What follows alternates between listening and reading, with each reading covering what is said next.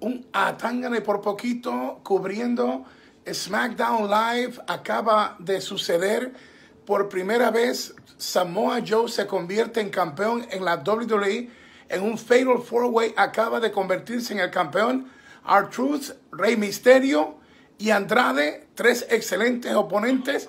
Se acaba de hacer historia. Joe, Joe, Joe acaba de convertirse en el campeón de los Estados Unidos. Un buen Fatal Four con un clímax, un final no esperado. Creo que esto le da a SmackDown de hoy eh, algo positivo, algo que verdaderamente eh, el público lo, va a aceptar, porque Samoa Joe es de esos guerreros que tienen el corazón de, la gente y obviamente eh, lo que ha sucedido hoy le da el campeonato a un verdadero luchador sin quitarle mérito a que pudo haber ganado Andrade, pudo haber ganado Rey Misterio, pudo haber tenido a Truth.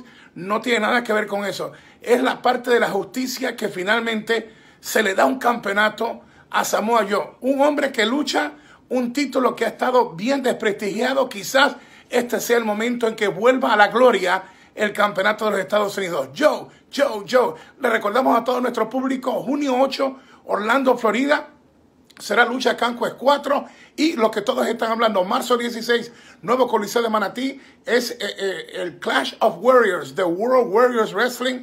Tiene que estar ahí, una de las grandes eh, carteleras y Puerto Rico tiene que respaldar.